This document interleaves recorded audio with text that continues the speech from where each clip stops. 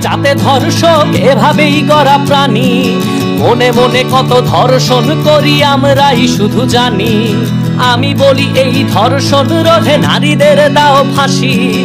তবেই মিটবে ধর্ষণ কেসে সমাজের মুখে হাসি। আমরা পুরুষ যাতে ধর্ষক এভাবেই গড়া প্রাণী। মনে মনে কত ধর্ষণ করি আমরাই শুধু জানি। Hello guys, if you like this video, please give me a thumbs up and please subscribe my channel Urpita Art House and press the bell icon for getting new updates. Thank you viewers, I love you all.